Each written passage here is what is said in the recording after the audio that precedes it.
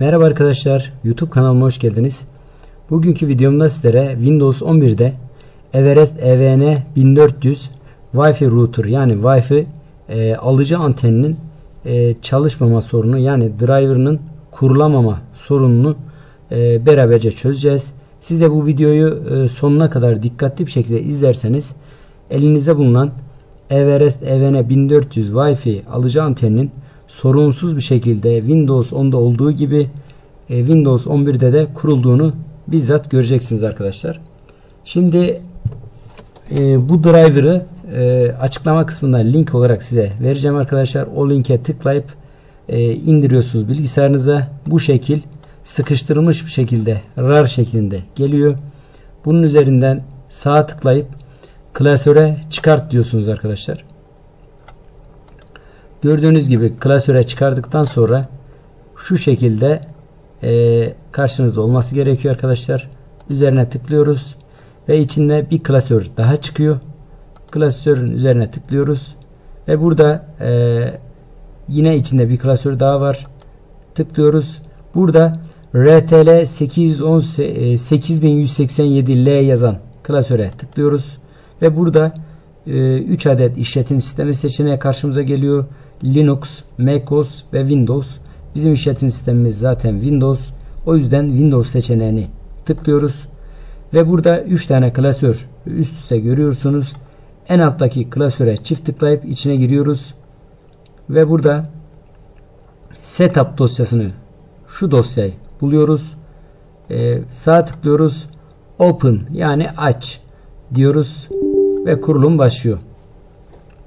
Burada e, farklı dil seçenekler var. Biz Türk iş e, yani Türkçeyi işaretleyip next yani ileri diyoruz ve kurulum başlıyor. Ve gördüğünüz gibi sorry we don't support this operation system diyor. Yani kullandığınız işletim sistemine e, kurmak istediğiniz driver uymuyor. Yani uyumlu değil e, diyor arkadaşlar. OK diyoruz. Bu hatayı alıyoruz. Şimdi bu hatayı almamaz için yeniden silip tekrar baştan başlıyoruz arkadaşlar. Gördüğünüz gibi klasörümüz duruyor. Üzerine çift tıklıyoruz ve yine aynı sıralamayla gidiyoruz. Ve burada e, yine Windows'u buluyoruz. En alttaki e, klasöre tıklıyoruz ve burada setup dosyasını buluyoruz. Az önce sağ tıklayıp direkt open yani aç demiştik arkadaşlar. Bir kez öyle yapmayacağız. Burada uyumluluk sorunlarını e, düzelt seçeneği yani ben e, şöyle söyleyeyim arkadaşlar. Ben Windows 11'in beta sürümünü kullanıyorum. Beta sürümü de bildiğiniz gibi İngilizce olduğu için arkadaşlar burada İngilizce olması kafanızı karıştırmasın. Burada troubleshoot compatibility yazan yeri tıklıyoruz. Yani uyum, uyumluluk sorunu gider e, seçeneğine tıklıyoruz. Burada e, iki tane seçenek çıkıyor. En alttakini seçiyorsunuz.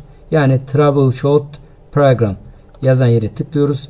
Buradaki dört tane seçenek geliyor arkadaşlar. Bu da gördüğünüz gibi İngilizce olarak geliyor. Benim çünkü işletim sistemim İngilizce olduğu için arkadaşlar. Kafanız karışmasın. Burada kısaca size bahsedeyim ne olduğunu. En üstteki diyor arkadaşlar e, benim programım daha önceki e, Windows sürümlerinde rahat çalışıyordu fakat bu Windows sürümünde çalışmıyor.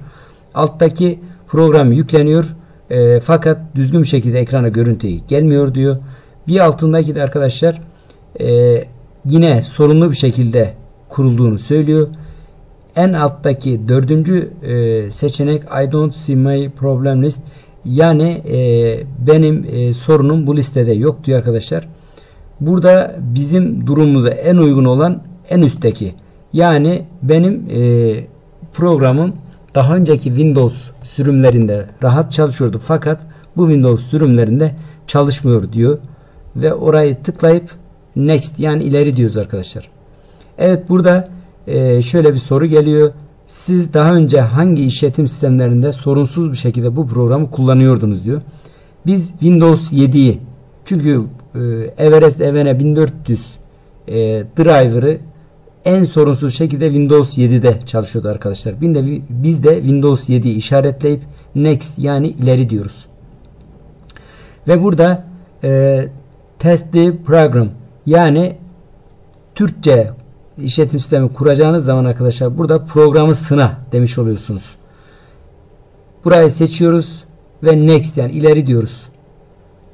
Burada test the programı tekrar tıklıyoruz ve gördüğünüz gibi arkadaşlar şu altta bir simge çıkıyor. Yani kurulum için ona istiyor. Biz de yes diyerek ilerliyoruz. Gördüğünüz gibi az önceki e, ilk hata aldığımız menünün e, tam kaldığımız bölümüne tekrar geliyoruz. Burada yine dilimizi seçiyoruz. Türk yani Türkçe next diyoruz ve kurulum başlıyor. Ve burada gelen sorulara yine bildiğiniz gibi ileri diyoruz. Yükle.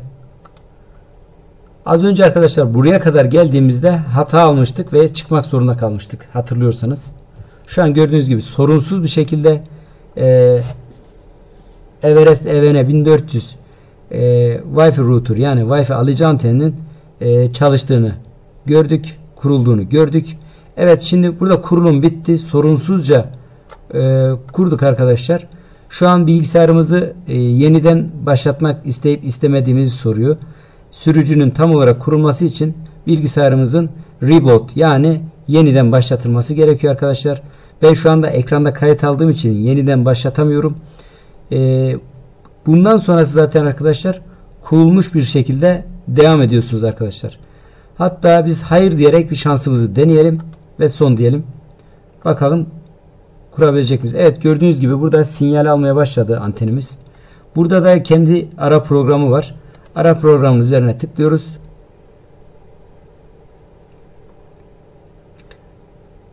Normalde arkadaşlar bütün programlar hangi programı kurarsanız kurun sorunsuz bir şekilde kurulumun tamamlamasını istiyorsanız bilgisayarınızı reboot yani yeniden başlatmanız gerekiyor arkadaşlar. Gördüğünüz gibi evet ekrana geldi. Şu anda e, Everest EVN 1400 Wi-Fi router'ın bilgisayarımıza sorunsuz bir şekilde e, kurulduğunu gördük. Bundan sonra arkadaşlar program tam olarak e, kurulması için bilgisayarımızın yeniden başlatıp kendi e, Wi-Fi şifremizi girerek e, kullanmaya başlıyoruz arkadaşlar. Bugünkü videomuz bu kadar. E, videomuzu izlediğiniz için teşekkür ediyorum. E, bu tür videoların devamının gelmesi için arkadaşlar desteğinizi bekliyorum. Bu destek nasıl olacak arkadaşlar? Videolarımızı likelayın. E, kanalıma, kanalımıza da abone olursanız böyle videoları çekmeye devam edeceğiz arkadaşlar. İzlediğiniz için teşekkür ederim. Başka videolardan görüşmek üzere. Hoşçakalın.